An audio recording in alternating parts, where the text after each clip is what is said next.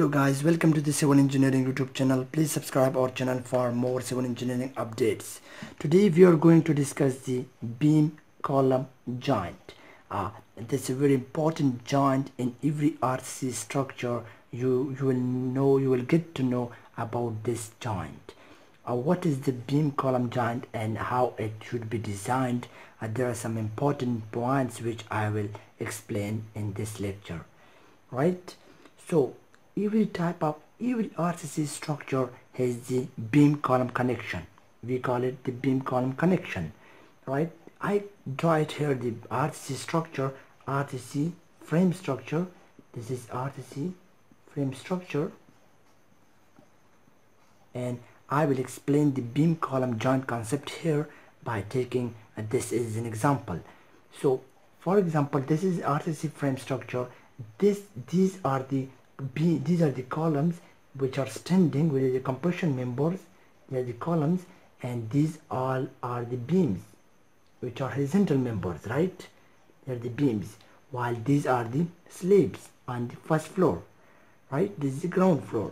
So these column and beam when combined into one another when the reinforcement when their beam and column reinforcement joint in the in the same position in the same portion we call it the beam column joint. But there are three different types of beam column joint. This is the corner joint. We call it the corner joint. Right? While this because the beam reinforcement just uh, go into the column from one side and here from one side. It cannot go into the other side. It cannot go into the other side this why we call it the corner because it's a corner joint. So number second is the three types of the beam column joint. Number second uh, is the exterior joint. We call this type of joint is the exterior joint. Exterior joint is the joint in which the beam can move from in one uh, from one place uh, in one position but it cannot move in the other location. Like for example it can move in the x direction like this but it cannot move in the y direction because it just stopped at the column location. So we call this type of joint as the uh, is the exterior joint. Right? Because the uh, one beam is just stopped here while other beam moves uh, to its length. So we call this the exterior joint. This is the first one second one and the last one is the interior joint. Interior joint.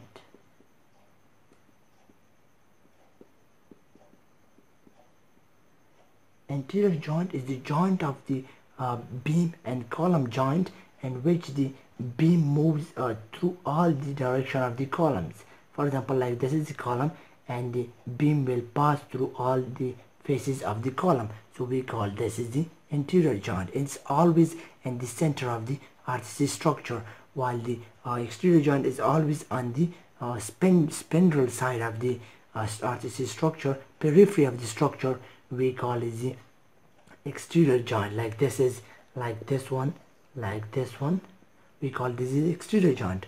While the corner joint are those which uh, which are at the corners.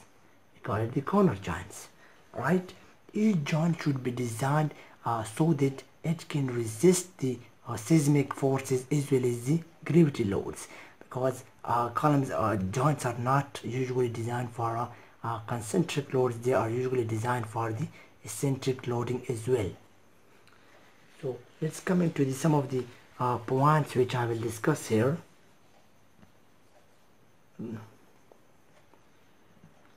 the first point I'm going to discuss here is the considering this this considering this uh, mm, is an example of column and beam. For example this is the column. I consider this example uh, taking this column uh, joint beam column joint is here an example. This is the column standing while it's an elevation view elevated view while here is the beam moving through the column right beam here moving to the column. So the first point about to design the beam column joint is the uh, the ties of the column. This these are the ties of the column. Right? The, the ties of the column. The first point is to the, the, the ties and the column should have a closely spaced ties. They should have closely spaced for example this these are the ties right? In the column. And there and their here their hooks. Their hooks have their own direction. This should be at the angle of what? This should be at the angle of 135 degree. Both should be 135 degree hooks.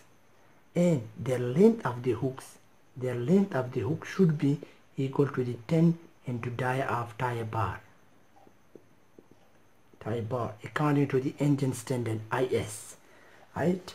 There uh, also according to the uh, American standards ACI codes they provide that it should be the 135 degree hook and the joint uh, of the beam column joint ties should have the 135 degree hook. So we also call this the seismic hook and the little ties should have the hook of 10 into dia. The length of the hook should be equal to 10 into dia of tie bar so we should provide this type of ties at the joint and it should be closely spaced not is like in this uh, portion. It's not the joint portion so it should not be closely as much as in the joint. The joint should be very closely spaced with ties. So and the second point is the width of the column. The width of the column is also very important and the different standard scores here provide some uh, some uh, some limit of the column that it should be provided.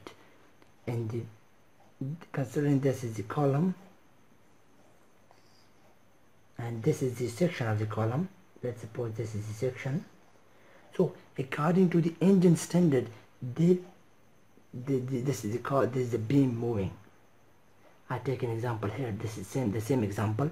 There is a beam moving here and here and this is the know, cross section of the column this is a one dimension this is second dimension. Indian according to the Indian standards IS according to Indian standards.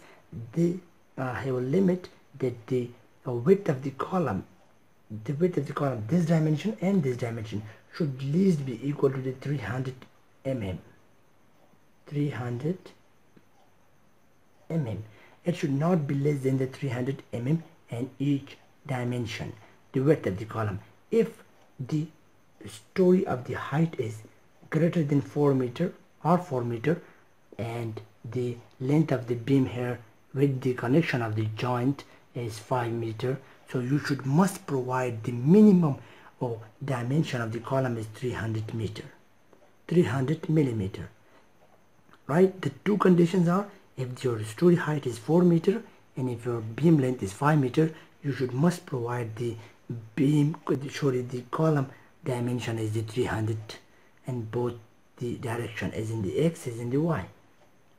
Right so coming to the number third one.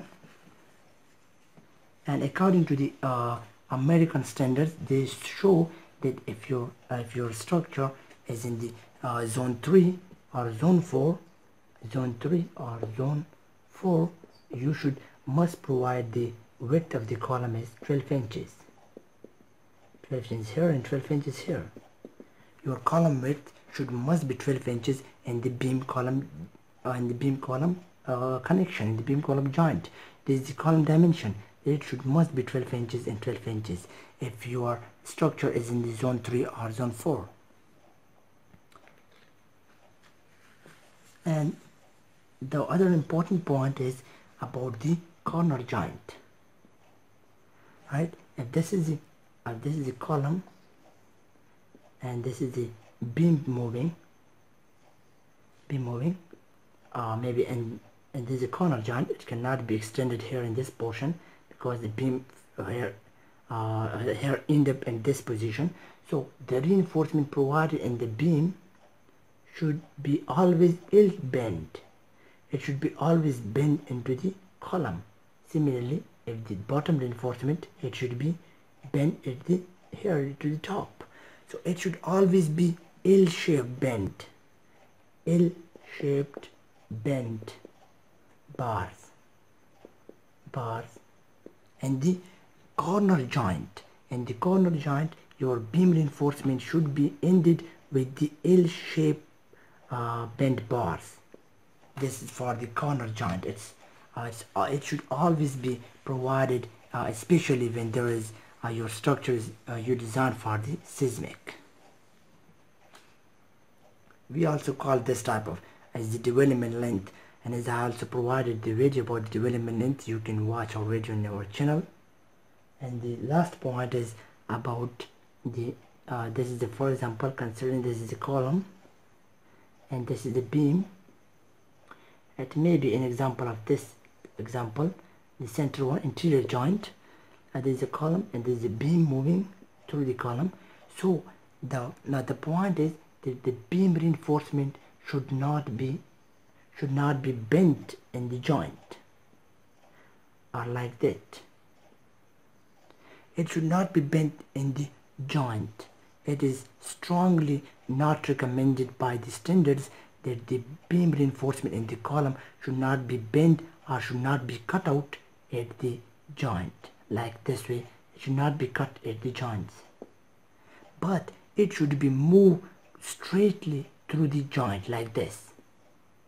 Should be moved straight to the joint. It should not be cut or should not be bent in the beam column joint. The beam reinforcement should not be uh, or cut or the bent in the joint. It's the last and very important point. It should be remembered and these are actually implemented in when our engineers do designing and practically.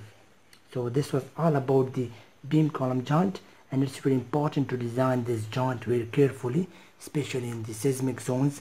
And I mean the earthquake occur the joint there's a uh, there's a joint so the, the top reinforcement as the earthquake occurs like in this direction. So the top reinforcement moves in this direction while the while the bottom reinforcement may move in this direction. This is the joint of the beam column. It may be any joint exterior or interior or maybe corner joint but due to earthquake uh, it can move the reinforcement at the top of the um, joint moves in one direction while the bottom reinforcement moves in another direction. So uh, there is a huge uh, differentiation a huge different scenario in the joint. So it should be well designed right?